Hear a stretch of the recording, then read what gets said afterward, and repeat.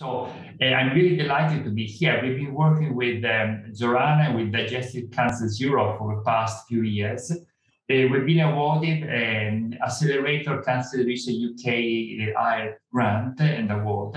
And uh, we have engaged Zorana and her team since the beginning in the inception, actually, even in the writing phase. And now I know that Zorana has been kind enough to let us have um, Eh, Nicola Valeri, who is part of the team presenting eh, a few months ago, and also Gabriele Dubini as a part of the initiative. And now I'm going to get into the third part of the grant and the award that is a little bit more technical, but I hope that we'll be able to, to somehow explain it to you in sufficient details. But please do not hesitate to stop me or actually to ask as many questions as you want. And the, the, what I'm going to present has to do with a single cell genomics. So basically genomics in one side and single cell. We are trying quite strongly actually to move uh, this new technology into the clinic to, to the patient benefits. So uh, there are two key concepts that I would like to, to pass through and to deliver. Uh, the first one is that DNA is not enough. We actually, as a geneticist as well, we tend to be a little bit obsessed about the DNA I will try to make the point that uh, knowing the DNA sequence, uh, even for a patient uh, treatment and cure, is really not enough anymore. And the second thing is to forget the bulk, but I will explain a little bit better later on. As, as, you may realize, these two persons here are Watson and Crick, the people that discovered the structure of the DNA in 1953. And so why DNA is not enough? So this is the major tenet of uh, life, we can say, or molecular biology more specifically. So we have a DNA, and the DNA then is translated like a book into RNA, and the RNA then gets rise to the protein. This is really the centerpiece of, of, of everything. And the thing that is really emerging more and more clearly is that the DNA actually is organized, is packed in a very complex way. And the fact that it's packed has a huge consequences on its function and its activity. So this is the DNA helix, as you can see, DNA is packed into basically nucleosomes, and then even more into chromatin assembly, and then finally into chromosomes. So what is important is that if you look at an organism, like for example a zebra in this case, but that of course true also for humans, all the cells in our body has exactly the same DNA sequence. So the question is, how come that you have so many different tissues, so many different organs that look so different if the DNA is basically the same in all cells? And actually, in a, a little bit simplistic way, but we can actually certainly say that uh, the difference between the organs is driven by the way by which the DNA is packaged.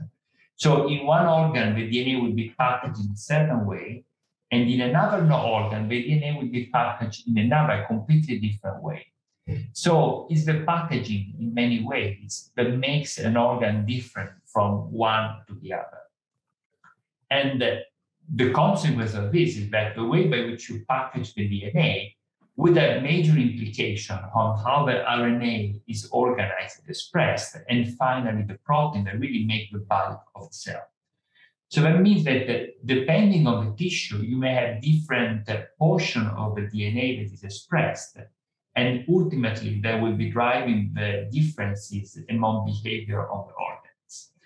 And I would like to make the point that, that more and more is becoming clear that also in cancer this is important. So the DNA sequence is crucial, certainly, but also how the DNA is packed has a major implication on cancer biology. And this is, um, and this is basically what I was just mentioning now. The second concept that I would like to, to transmit is that to forget the bulk. So when we talk about genomics, genetics, even in patients, when we say this patient uh, sadly does have a mutation, in his cancer on this specific oncogene or tumor suppressor, we rarely, if ever, look at a single cell of the tumor. We tend to take, to take a bulk, so a group of cells, we analyze them, and we say on average, we do have these changes, this modifications. In reality, uh, recent technologies, the uh, so-called single cell technology, has really shown how we can uh, somehow fragment the tumor, for example, a tissue in single cell and analyze the genomics of the single cell. And this is the, really the new era of single cell genomics. I should say that, and I don't have time and room here to really go into many details on this, but uh, single cell genomics is really revolutionizing the whole field of biology, but also potentially of the clinic. So being able to look at a single cell, how the DNA, RNA is altered, and not simply looking at the bulk, at the average cells, it's really changing, uh, I would say, forever, our understanding of the tumor and also hopefully the way by which we treat it and, and cure it if you look at this tissue here, for example, before we just simply, this is a, an eye, clearly a cartoon. You see that the eye here. And what we have been doing up to five or six years ago was simply to take all the cells, measure them, and then look at what was, uh, uh, what, what, what was the genomic inside it. But of course, we will not be able to see the difference among the different cells inside. What we can do now with the single cell genomics is really to have a complete picture of, uh, in this case, the RNA at each single cell level. So each of these uh, little dots that you can see here, each of them represent one single cell on which we have collapsed all the RNA data just to really show what is important in each single aspect. So through this collaboration on which also uh, Digestive Cancers Europe is, has been engaged, we have a, a collaboration uh, um, involving uh, several institutes in Italy, but also in the UK, with the ICR, the Barts Cancer Institute, Norwich, as well as the University of Cambridge, and also a group in Israel.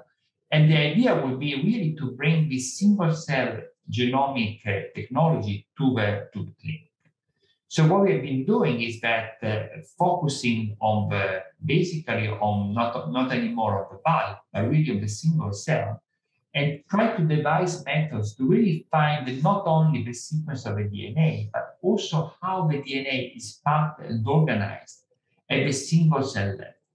And I will say that we've been successful on this. I mean, We have uh, built this epigenome, and I can show you here the comparison between single cell on the same tumor.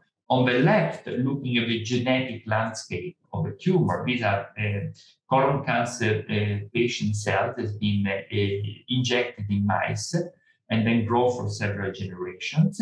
Then with the collaboration in Torino Candiolo here in Italy, we have obtained these cells and compared the profiles of the genomic DNA, pure DNA on the left with the brown and orange colors, and instead with the teal colors on the right with the epigenome information.